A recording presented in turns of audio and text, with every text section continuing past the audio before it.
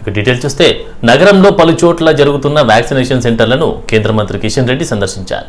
Vaccination తీరుపై ఆయా కేంద్రాల్లోని వైద్య సిబ్బందిని అడిగి తెలుసుకున్నారు.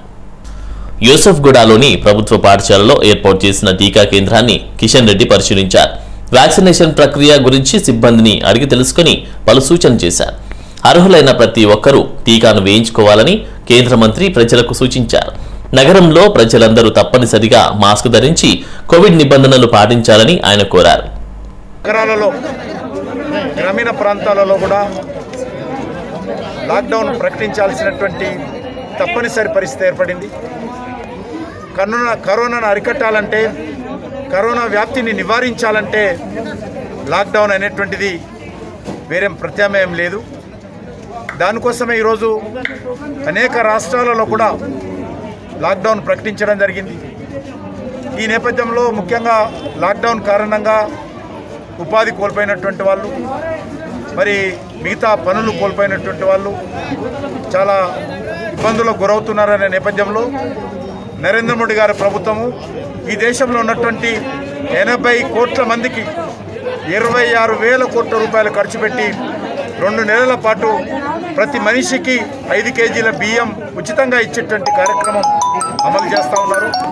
గతంలో కూడా గత సంవత్సరము ఎనిమిది నెలల పాటు ప్రతి వ్యక్తికి ఐదు కేజీల చొప్పున ఉచితంగా మరి బియ్యం ఇచ్చిన విషయం మనకు అందరికీ తెలుసు. ఇక ఆ తర్వాత సికింద్రాబాద్ నియోజకవర్గం సీతాఫల్ మండిలోని మల్టీపర్పస్ ఫంక్షన్ హాల్లో కొనసాగుతున్న సూపర్ స్ప్రెడర్ల వ్యాక్సినేషన్ కేంద్రాన్ని కేంద్ర మంత్రి సందర్శించారు. టీకా పంపిణీ కార్యక్రమం గురించి వైద్య సిబ్బందిని అడిగి తెలుసుకున్నారు. అర్హులైన ప్రతి ఒక్కరూ వీలైనంత త్వరగా వ్యాక్సిన్ తీసుకొని జాగ్రత్తగా ఉండాలని సూచించారు. టీకా విషయంలో అలసత్వం వహించొద్దని కిషన్ రెడ్డి ప్రజలకు విజ్ఞప్తి చేశారు. ప్రతి ఒక్కరూ లాక్డౌన్కు సహకరించాలని ఆయన కోరారు. అత్యవసరమైతేనే బయటకు రావాలని కిషన్ రెడ్డి సూచించారు. వ్యాక్సినేషన్ విషయంలో అనేక రకాలుగా ప్రయత్నాలు చేస్తాము. అదృష్టవశాత్తు వ్యాక్సినేషన్కి సంబంధించినటువంటి అనుమతులు కూడా ఎందుకంటే మన శాస్త్రజ్ఞులు కానీ వివిధ ఫార్మా కంపెనీలు కానీ ఈ యొక్క వ్యాక్సినేషన్ అనుమతి అనుమతి ఇచ్చేటువంటి ఐసీఎంఆర్ లాంటి సంస్థలు కానీ డెడికేషన్ తోటి పనిచేయడంతో ఈరోజు ఇప్పటికే మన మన దేశంలో కనుక్కున్నటువంటి భారత్ బయోటెక్ వ్యాక్సినేషన్ ఇప్పటికే ప్రపంచంలో మంచి పేరు సంపాదించి త్వరలోనే భారత్ బయోటెక్ రూపొందించినటువంటి వ్యాక్సినేషన్కు మరి డబ్ల్యూహెచ్ఓ కూడా అనుమతి త్వరలోనే రానున్నది. దానికి సంబంధించినటువంటి ప్రాసెస్ కానీ పేపర్కి సంబంధించిన డాక్యుమెంట్స్ అన్నీ కూడా ఈరోజు డబ్ల్యూహెచ్ఓకు మనం ఇవ్వడం జరిగింది. త్వరలోనే అది వచ్చినట్లయితే ఈ వ్యాక్సినేషన్ భారత్లో తీసుకున్నటువంటి వాళ్ళు ప్రపంచంలో ఏ దేశానికైనా ప్రయాణం చేసేటువంటి అవకాశం ఉంది. అది విద్యార్థులకు కానీ ఉద్యోగస్తులకు కానీ వ్యాపార సంబంధించినటువంటి ట్రావెల్ చేసే వాళ్ళకి కానీ టూరిస్టులకు కానీ ఈ వ్యాక్సినేషన్ డబ్ల్యూహెచ్ అనుమతి వచ్చినట్లయితే అది ప్రపంచంలో ఎక్కడైనా సరే వ్యాక్సినేషన్ సర్టిఫికెట్ ఉపయోగపడుతుంది. అదేవిధంగా మరి ఫిర్యాదిగూడ మున్సిపల్ కార్పొరేషన్లోని బీబీ సాహెబ్ డివిజన్ ఎనిమిదవ వార్డులోని పలు అభివృద్ధి కార్యక్రమాలు మంత్రి మల్లారెడ్డి ప్రారంభించారు. ఇక శ్రీశ్రీనగర్ పార్క్ చుట్టూ పద్నాలుగు లక్షల రూపాయల వ్యయంతో ప్రహారిగూడ ఎస్ఎస్ కాలనీలోని ఇరవై ఐదు లక్షల వ్యయంతో సీసీ రోడ్డు నిర్మాణ పనులకు ఉప్పల్ ఎమ్మెల్యే బేతి సుభాష్ రెడ్డితో కలిసి శంకుస్థాపన చేశారు. తెలంగాణ రాష్ట్రంలో ప్రజలందరికీ మౌలిక వసతులను కల్పిస్తూ అభివృద్ధిలో తెలంగాణ ప్రభుత్వం దూసుకుపోతుందని మంత్రి మల్లారెడ్డి చెప్పారు. ప్రజలందరూ జాగ్రత్తగా ఉంటూ కరోనాను ఎదుర్కొనే దిశగా స్వీయ జాగ్రత్తలు తీసుకోవాలని మంత్రి కోరారు. ఈ కార్యక్రమంలో mayor Jakka Venkata Reddy deputy mayor Kurra Sivakumar Goud Malkajgiri parliament incharge మరి రాజశేఖర్ రెడ్డి పార్టీ అధ్యక్షుడు దుర్గా దయాకర్ రెడ్డి కార్పొరేటర్లు Lethakula Madhavi Raghupathi Reddy Kurra Srinivas Goud Kolthuri Mahesh DA Srinivas AE Vinil division నాయకులు అసోసియేషన్ సభ్యులు కాలనీల పెద్దలు పాల్గొన్నారు. ప్రముఖ కవి కళాకారుడు సుద్దాల హనుమంతు జయంతి సందర్భంగా ఆయన చిత్రపటానికి మంత్రి శ్రీనివాస్ గౌడ్ తన నివాసంలో ఘనంగా నివాళులర్పించారు. సుద్దాల హనుమంతు పేద ప్రజల కోసం జీవితమంతా కష్టజీవుల కోసం ఉద్యమం కోసం అంకితం చేసిన వ్యక్తి అని మంత్రి కొనియాడారు. సీఎం కేసీఆర్ ఆదేశాల మేరకు తెలంగాణకు చెందిన మహనీయులు కవులు చిత్రకారులు అందించిన సేవలకు గుర్తుగా జయంతి వర్ధంతి వేడుకల్ని ప్రభుత్వం తరపున అధికారికంగా ఘనంగా నిర్వహిస్తున్నట్లు శ్రీనివాస్ గౌడ్ చెప్పారు. మహనీయులు కవులు ఆశయాలను భవిష్యత్ తరాలకు తెలియచెప్పాలనే లక్ష్యంతో వేడుకలు నిర్వహిస్తున్నామన్నారు. వారి కుటుంబ సభ్యులను గౌరవిస్తూ సన్మానిస్తూ ఉన్నట్లు మంత్రి పేర్కొన్నారు. కవుల కవితలో ఆవేశం ఆ అర్థాల్లో ఆలోచన ఉంటుందన్నారు. పాట ద్వారా ప్రజల్లో ప్రచారమై ప్రజాకవిగా సుద్దాల హనుమంతు నిలబడ్డారని పేర్కొన్నారు. నాటి నుంచి వ్యతిరేక ఉద్యమంలో బ్రతుకున్నంత కాలం ప్రజల బాణిలోనే పాటలందించి పోరాటాలకే తన జీవితాన్ని అంకితం చేసిన అచ్చమైన ప్రజాకవి సుద్దాల హనుమంతు అని శ్రీనివాస్ గౌడ్ వెల్లడించారు. ఈ కార్యక్రమంలో ఎమ్మెల్సీ గంగాధర్ గౌడ్ రాష్ట్ర పర్యాటక సాంస్కృతిక శాఖ కార్యదర్శి కెఎస్ శ్రీనివాసరాజు ప్రముఖ కవి రచయిత సుద్దాల అశోక్ తేజ సాంస్కృతిక శాఖ సంచాలకులు మామిడి హరికృష్ణ పాల్గొన్నారు. బాగంబారిపేట డివిజన్ కుమ్మరబస్తీ రేషన్ షాపులో లాక్డౌన్ నేపథ్యంలో పేద ప్రజలకు పదిహేను కిలోల ఉచిత రేషన్ బియ్యం పంపిణీ కార్యక్రమాన్ని ఎమ్మెల్యే కాలేరు వెంకటేష్ ప్రారంభించారు. నియోజకవర్గంలో పేదలకు ఏ సమస్య వచ్చినా తనను సంప్రదించాలని ఎమ్మెల్యే భరోసా కల్పించారు. ప్రతి ఒక్కరూ మాస్క్ ధరించి కోవిడ్ నిబంధనలు జాగ్రత్తగా పాటించాలని ఆయన సూచించారు. ఈ కార్యక్రమంలో కార్పొరేటర్ పద్మా వెంకటరెడ్డి టీఆర్ఎస్ నాయకులు కార్యకర్తలు తదితరులు పాల్గొన్నారు. కరోనా విపత్తు వల్ల ఉపాధి కోల్పోయిన పేద ప్రజలకు రాష్ట్ర ప్రభుత్వం తెల్ల రేషన్ కార్డులకు ఉచితంగా పదిహేను కిలోల బియ్యం చొప్పున అందజేస్తున్నారు. రామ్నగర్ డివిజన్లోని హరినగర్ అబ్బసాయి అపార్ట్మెంట్ వద్ద రేషన్ షాప్ వద్ద ఎమ్మెల్యే ముఠా గోపాల్ పంపిణీ చేశారు. ప్రభుత్వం ఇస్తున్న ఉచిత రేషన్ బియ్యాన్ని అర్హులైన ప్రతి ఒక్కరూ తీసుకోవాలని ఎమ్మెల్యే ముఠా గోపాల్ సూచించారు. ఈ కార్యక్రమంలో టీఆర్ఎస్ యువ నాయకులు ముఠా జయసింహ పార్టీ సీనియర్ నాయకులు ఆర్ మోజస్ ముదిగొండ మురళి వెల్లంకి ఇంద్రసేనారెడ్డి ఎర్రం శేఖర్ పలువురు పాల్గొన్నారు. కరోనా విపత్కర సమయంలో ముషీరాబాద్ నియోజకవర్గంలో ఎమ్మెల్యే ముఠా గోపాల్ అనేక సేవా కార్యక్రమాలు చేస్తున్నారని టీఆర్ఎస్ నేత వై శ్రీనివాస్ అన్నారు. ఎమ్మెల్యే సేవా కార్యక్రమాలు చూస్తూ ఉంటే బీజేపీ నేతలు చూసి ఓర్వలేక అధికారులపై పెత్తనం చెలాయిస్తూ ఇబ్బందులకు గురి చేస్తున్నారని ఆయన మండిపెట్టారు. రాత్రి పగలు ఏ సమస్య ఉన్నా కానీ కూడా మరి మన ఎమ్మెల్యే గారు మరి గల్లీ గల్లీలో బస్సీ బస్సీలో వాడవాడలో మరి తిరుగుకుంటూ ఈ యొక్క అరే ఉండరువా వాడవాడలో వెళ్ళుకుంటూ మరి ఎక్కడ చూసినా కానీ కూడా మరి కరోనా ఇక్కడ ఈ సమస్య ఉందంటే కూడా మరి శానిటైజర్ చేయించుకుంటూ మరి మున్సిపల్ సిబ్బందితో కూడా మరి తిరుగుకుంటూ ప్రతి ఏరియాలో కూడా మరి ముఠా గోపాలు మరి ముఠా గోపాల్ తనయుడు ముఠా జయసింహ గారు కూడా ప్రతి డివిజన్లో ప్రతి గల్లీలో ప్రతి బస్సీలో కూడా ఎక్కడ చూసినా కానీ కూడా వాళ్ళు అధికారులను తీసుకొని మరి ఈ యొక్క సంక్షేమ కార్యక్రమాలు కానివ్వండి మరి ఏదైతే ఈ యొక్క కరోనాకు సంబంధించిన సమస్యలు కానివ్వండి మరి వెంబడి వెంబడుండి అధికారులను తీర్చి చేయడమే కాకుండా మరియు అవి చూసి ఓర్వలేక ఈ యొక్క బీజేపీ కార్పొరేటర్లు మరి గోపాల్ గారిని మరి ఎదుర్కోకుండా మరి ఎదుర్కొనే ధైర్యం లేకుండా ఈ యొక్క బీజేపీ పార్టీకి మరి ఆ సత్తా లేకుండా పోయిన బీజేపీ పార్టీకి ఈరోజు అధికారుల మీద మరి పెత్తనం చెలాయించడం జరుగుతున్నది. గట్కేసర్ ఎన్ఎఫ్సి నగర్ కమ్యూనిటీ హాల్లో రక్తదాన సేవ trust జనహిత Seva trust Ghatkesar police వారి సహకారంతో కోటి మెటర్నటీ గవర్నమెంట్ హాస్పిటల్ యాజమాన్యం రక్తదాన శిబిరం ఏర్పాటు చేశారు. దేశవ్యాప్తంగా పద్దెనిమిది సంవత్సరాలు నిండిన వారందరికీ వ్యాక్సిన్ ప్రక్రియ మొదలైంది. వ్యాక్సిన్ తీసుకున్న తర్వాత అరవై రోజుల వరకు రక్తదానం చేయకూడదు కాబట్టి కరోనా కష్టకాలంలో రక్తం కొరత ఏర్పడుతుందని ఉద్దేశంతో రక్తదాన శిబిరం నిర్వహించారు. ఈ కార్యక్రమంలో RMO doctor Jayalakshmi Ghatkesar CI Chandrababu Janahita Seva trust Telangana head Narasimhamurthy సంపర్క Pramukh KLG Prasad MPP Y Sudarshan Reddy municipal chairman Pavani Jangaiah. BJP municipality అధ్యక్షులు వి హనుమాన్ సేవా ప్రముఖ్ వీరన్న తదితరులు పాల్గొన్నారు. కరోనా సెకండ్ వేవ్ ఉధృతి తగ్గుముఖం పట్టడంతో పాటు పాజిటివ్ కేసుల సంఖ్య తగ్గుతూ ఉండడంతో రాష్ట్రంలో పగటి వేళల్లో లాక్డౌన్ ఎత్తివేయాలని ప్రభుత్వం భావిస్తున్నట్లు సమాచారం.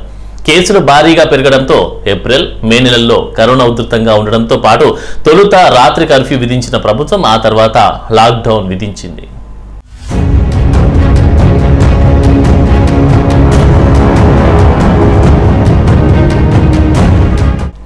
మొదట విధించిన లాక్డౌన్లో కేవలం ఉదయం ఆరు గంటల నుంచి పది గంటల వరకు మాత్రమే సడలింపులు ఇచ్చింది. ఆ తర్వాత కేసుల సంఖ్య తగ్గుతూ ఉండడంతో మే ముప్పై ఒకటి నుంచి సడలింపు సమయాన్ని మధ్యాహ్నం రెండు గంటల వరకు పొడిగించింది. ఈ గడువు బుధవారంతో ముగియనుంది. రాష్ట్రంలో కేసుల సంఖ్య భారీగా తగ్గుతోందని ప్రస్తుతం పాజిటివిటీ రేటు రెండు శాతమే ఉందని హెల్త్ డైరెక్టర్ శ్రీనివాసరావు తాజాగా ప్రకటించారు. వైద్య ఆరోగ్య శాఖ అందించే నివేదికల ఆధారంగానే ప్రభుత్వం నైట్ కర్ఫ్యూ లాక్డౌన్పై నిర్ణయం తీసుకున్నాయి. కాబట్టి ఈ నెల తొమ్మిది తర్వాత పగటి వేళల్లో లాక్డౌన్ పూర్తిగా ఎత్తివేసే అవకాశాలున్నట్లు తెలుస్తోంది. కోవిడ్ టాస్క్ ఫోర్స్కు నేతృత్వంలో వహిస్తున్న మంత్రి కేటీఆర్ చేసిన వ్యాఖ్యలు కూడా సడలింపులకు ప్రభుత్వం సుముఖంగా ఉందన్న వార్తలకు బలం చేకూరుస్తున్నాయి. ఈ నెల తొమ్మిది వరకు కరోనా తీవ్రత చాలా వరకు తగ్గుతుందని తగు జాగ్రత్తలతో ప్రజలు తమ దైనందిన కార్యకలాపాలన్నీ నిర్వహించుకోవచ్చని కేటీఆర్ టిమ్స్ ఆసుపత్రిలో జరిగిన కార్యక్రమంలో పేర్కొన్నారు. దీనిని బట్టి లాక్డౌన్ను మరోసారి పొడిగించకపోవచ్చన్న అభిప్రాయాలు వ్యక్తమవుతున్నాయి. అలాగే కేవలం నైట్ కర్ఫ్యూ మాత్రమే విధించే యోచనలో ప్రభుత్వం ఉన్నట్లు విశ్వసనీయ వర్గాల సమాచారం.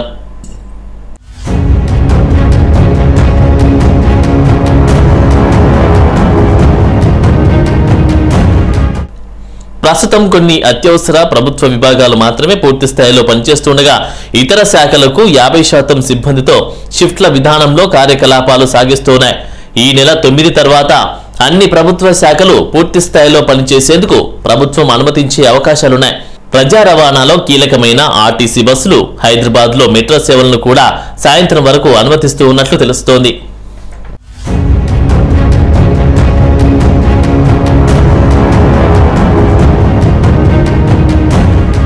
పాత బస్తీ ఫలక్నమా పోలీస్ స్టేషన్ పరిధిలో దారుణం జరిగింది. ద్విచక్ర వాహనంపై వెళ్తున్న ఓ వ్యక్తిని పట్టపగలు గొంతు కోసి హత్య చేశారు. ఫలక్నుమా బస్ డిపో సమీపంలోని ఓ వీధిలో బైక్ పై వెళ్తున్న వ్యక్తిని గుర్తు తెలియని దుండగులు ఆపి కత్తితో గొంతు కోశారు. రక్తపు మడుగులో బాధితుడు రోడ్డుపై దాదాపు వంద మీటర్ల మేర పరుగెత్తి మృతి చెందారు. సమాచారం తెలుసుకున్న ఫలక్నుమా పోలీసులు ఘటనాస్థలికి చేరుకుని పరిశీలించారు. మృతదేహాన్ని పోస్టుమార్టం నిమిత్తం ఉస్మానియాకు తరలించారు. ఘటనపై పోలీసులు కేసు నమోదు చేసుకుని దర్యాప్తు చేస్తున్నారు. ఈరోజు మధ్యాహ్నం పన్నెండున్నర గంటలకు మన జహన్నుమ వాటర్ ట్యాంక్ దగ్గర ఒక హత్య జరిగింది. మృతుని దగ్గర ఏంటంటే ఒక ఫోన్ దొరికింది. అదేవిధంగా ఒక ఐడి ప్రూఫ్ ఉంది. సో మృతుని యొక్క వివరాలు అవన్నీ తెలవాల్సింది. వాళ్ళ వాళ్ళకి ఫోన్ చేశాము. వాళ్ళ అంది వేలో ఉన్నారు. వచ్చిన తర్వాత ఆ మృతుడి వివరాలు అవన్నీ తెలుస్తాయి. ఎవరు హత్య చేశారు అనేది కూడా ఫర్దర్గా మేము వెరిఫై చేసి దీని మీద యాక్షన్ తీసుకుంటాం. వాళ్ళని ఇమీడియట్గా అరెస్ట్ చేస్తాం. నగరంలో బోయినపల్లిలో బ్లాక్ ఫంగస్ చికిత్సకు ఉపయోగించే మందులను అధిక ధరలకు విక్రయిస్తున్న ముగ్గురు వ్యక్తులను వెస్ట్ జోన్ టాస్క్ ఫోర్స్ పోలీసులు అరెస్ట్ చేశారు. నిందితుల నుంచి పదిహేను ఆంపోట్రేట్ బి ఇంజెక్షన్లను స్వాధీనం చేసుకున్నారు. తెలుగు రాష్ట్రాలకు చెందిన నిఖిల్ రెడ్డి స్రవంతి వేణులు ముఠాగా ఏర్పడ్డారు. బ్లాక్ ఫంగస్ చికిత్సకు ఉపయోగించే ఇంజెక్షన్లను తక్కువ ధరకే కొనుగోలు చేసి అవసరం ఉన్న వారికి అధిక మొత్తంలో అమ్మి సొమ్ము చేసుకుంటున్నట్లు పోలీసులు తెలిపారు. వీరిలో ఒకరు విద్యార్థి కాగా మరో ఇద్దరు ఫార్మా మార్కెట్ ఏజెంట్స్గా ఉన్నారు. వీరు బోయిన్పల్లిలో అక్రమంగా అధిక ధరలకు ఇంజెక్షన్లు అమ్ముతున్న క్రమంలో టాస్క్ ఫోర్స్ పోలీసులు వారిని పట్టుకున్నారు. నిందితులను బోయిన్పల్లి పోలీసులకు అప్పగించారు. దేశంలో కరోనా ఉధృతి మెల్లమెల్లగా తగ్గుముఖం పడుతోంది. రోజువారీ కేసులు మరణాలు క్రమంగా తగ్గుతూ వస్తున్నాయి. గత ఇరవై నాలుగు గంటల్లో దేశవ్యాప్తంగా లక్ష పద్నాలుగు వేల నాలుగు వందల అరవై కేసులు నమోదు కాగా రెండు వేల ఆరు వందల డెబ్బై ఏడు మంది బాధితులు మృతి చెందారు. కొత్త కేసులతో దేశవ్యాప్తంగా ఇప్పటి వరకు రెండు కోట్ల ఎనభై ఎనిమిది లక్షల తొమ్మిది వేల మూడు వందల ముప్పై తొమ్మిది కేసులు నమోదయ్యాయి. అలాగే ఇప్పటి వరకు మూడు లక్షల నలభై ఆరు వేల ఏడు వందల యాభై తొమ్మిది మంది ప్రాణాలు కోల్పోయారు. అంతేకాకుండా గత ఇరవై నాలుగు గంటల్లో లక్ష ఎనభై తొమ్మిది వేల రెండు వందల ముప్పై రెండు మంది కోలుకున్నారు. ఇప్పటి వరకు కరోనా నుంచి పూర్తి ఆరోగ్యంతో కోలుకున్న వారి సంఖ్య రెండు కోట్ల అరవై తొమ్మిది లక్షల ఎనభై నాలుగు వేల ఏడు వందల ఎనభై ఒకటికి పెరిగింది. ప్రస్తుతం పద్నాలుగు లక్షల డెబ్బై ఏడు వేల ఏడు వందల తొంభై తొమ్మిది మంది కరోనాతో పోరాడుతున్నారు. అలాగే దేశంలో వ్యాక్సినేషన్ డ్రైవ్ ముమ్మరంగా కొనసాగుతుంది. ఇప్పటి వరకు ఇరవై మూడు కోట్ల పదమూడు లక్షల ఇరవై రెండు వేల నాలుగు వందల పదిహేడు మందికి టీకాలు వేశారు. మరికొద్ది రోజుల్లో ప్రారంభం కానున్న వరల్డ్ టెస్ట్ ఛాంపియన్షిప్ ఫైనల్లో పోటీ పడే టీమిండియా న్యూజిలాండ్ రెండు జట్లు బలంగా ఉన్నాయని మాజీ బ్యాట్స్మెన్ వివిఎస్ లక్ష్మణ్ అన్నారు. అయితే కోహ్లీ సేన ఫేవరెట్గా బరిలోకి దిగనుందని తెలిపారు. సవాళ్ళను చూసి టీమిండియా భయపడదని ధైర్యంగా ముందుకు సాగుతుందని చెప్పాడు ఇటీవల ఆస్ట్రేలియా పర్యటన అందుకు నిదర్శనమని లక్ష్మణ్ పేర్కొన్నారు. ప్రస్తుతం రెండు జట్లు బాగానే ఆడుతున్నాయని అయితే టీమిండియా కొంతకాలంగా అద్భుతంగా రాణిస్తోందని తెలిపారు. కోహ్లీ సేనా సవాలను ఎదుర్కొని ముందుకు సాగబోతుందన్నారు. ఇటీవల ఆస్ట్రేలియా సిరీసే అందుకు ఉదాహరణగా చెప్పారు. ఈ ఛాంపియన్షిప్ ఫైనల్లో ఒక మ్యాచే అయినందున ఏ జట్టు తొలి ఇన్నింగ్స్లో భారీ పరుగులు చేస్తుందో అదే జట్టు మ్యాచ్పై పట్టు బిగిస్తుందని లక్ష్మణ్ వివరించారు. ఇక టీమిండియా ప్రస్తుతం సౌత్ ఆఫ్టన్లో క్వారంటైన్లో ఉండగా న్యూజిలాండ్ జట్టు ఇంగ్లాండ్తో రెండు టెస్టుల సిరీస్ ఆడుతోంది. దాంతో ఆ జట్టు ఇంగ్లాండ్ పరిస్థితులను అర్థం చేసుకునే వీలుందని అది ఛాంపియన్షిప్ ఫైనల్లో వారికి కలిసి వస్తుందని లక్ష్మణ్ పేర్కొన్నారు. డోంపింగ్లో పట్టుబడిన రెజ్లర్ సుమిత్ మాలిక్పై భారీ జరిమానా విధించే అవకాశం ఉన్నట్లు తెలుస్తోంది. డొంపింగ్ టెస్టులో విఫలమైనందుకు డబ్ల్యూఎఫ్ఐపై అంతర్జాతీయ సమైక్య యునైటెడ్ వరల్డ్ రెజ్లింగ్ పదహారు లక్షల జరిమానా విధించే అవకాశం ఉంది ఈ మొత్తంగా మాలిక్ నుంచి భారత రెజ్లర్ సమాఖ్య రాబట్టనుంది. ఒకవేళ అతడు దోషిగా తేలడంతో పాటు జరిమానా చెల్లించకపోతే సుమిత్పై జీవితకాల నిషేధం పడే ఛాన్స్ ఉంది. గత నెల బల్గేరియాలో జరిగిన ఒలింపిక్స్ క్వాలిఫైయర్స్ సందర్భంగా సేకరించిన అతడి శాంపిల్స్లో నిషేధిత మిథెల్ ఎక్సనమైన్ ఉన్నట్లు తేలింది. దీంతో వరల్డ్ రెజ్లింగ్ మాలిక్పై ఆరు నెలల తాత్కాలిక నిషేధం విధించింది. దీంతో అతడు టోక్యో ఒలింపిక్స్కు దూరం కానున్నాడు. కరోనా మహమ్మారి మనల్ని ఎంతగానో మార్చిందని నటి సమంత అక్కినేని అన్నారు. ఫుడ్ పట్ల తనకున్న అభిప్రాయాలను పూర్తిగా చేంజ్ చేసిందని తనకు కావాల్సిన ఆహారం ఇప్పుడు తానే పండించుకుంటున్నానని పేర్కొన్నారు. ఇందుకోసం హైడ్రోఫోనిక్ సాంకేతికత వినియోగిస్తున్నానని తెలిపారు. ప్రపంచ పర్యావరణ దినోత్సవం సందర్భంగా పిక్కీ లేడీస్ ఆర్గనైజేషన్ హైదరాబాద్ శాఖ ఆధ్వర్యంలో నిర్వహించిన వర్చువల్ సదస్సులో సమంత పాల్గొన్నారు. తానిప్పుడు వెగాన్గా మారానని అన్నారు. ఆంగ్లో ఇండియన్ ఫ్యామిలీకి చెందిన తాను నాన్ వెజ్కు దూరంగా ఉండడం అంటే అతిపెద్ద మార్పు వచ్చినట్లేనని చెప్పారు. ఈ మార్పును పూర్తిగా ఆస్వాదిస్తున్నానంటూ సస్టైనబుల్ ఫ్యాషన్ను కూడా అనుసరిస్తున్నానని చెప్పారు. పర్యావరణ అనుకూల మార్గాలను గురించి చెబుతూ మాంసాహారం తగ్గించుకోవాలని సూచించారు. అవసరమైనప్పుడు మాత్రమే నాన్ వెజ్ కొనాలని ఎవరి ఆహారం వారే పండించుకోవడానికి ప్రయత్నించాలని సమంత వెల్లడించారు. పర్యావరణాన్ని పునరుద్ధరించండి అనే నేపథ్యంలో నిర్వహించిన ఈ సదస్సులో సమంతతో పాటు Narayanpet collector Harichandana sage farm cafe chief curator Kavitha Mantha urban Kisan సహా వ్యవస్థాపకులు doctor Sairam P Reddy FLO Hyderabad chairperson Uma Chigurupati పాల్గొన్నారు. Bollywood biggest star hero Akshay కుమార్తో మెగాస్టార్ చిరంజీవి చేతులు కలిపారు. The federation of Indian chamber of commerce and industry ప్రజల్లో corona virus పై అవగాహన పెంచడానికి ఓ సామాజిక కార్యక్రమాన్ని నిర్వహించనుంది. కరోనాకు హరానా హై అనే పేరుతో రూపొందబోయే ఈ కార్యక్రమంలో కరోనాపై అవగాహన పెంచడానికి అక్షయ్ కుమార్తో పాటు చిరంజీవి కూడా పాల్గొననున్నారు. కరోనా ఎలా వ్యాప్తి చెందుతుంది? కరోనా రాకుండా వ్యాక్సిన్ తీసుకోవాల్సిన ఆవశ్యకత ఏంటి? అనే విషయాలను ప్రజలకు అర్థమయ్యేలా వివరించాలని ఎఫ్ఐసిసిఐ భావిస్తోంది.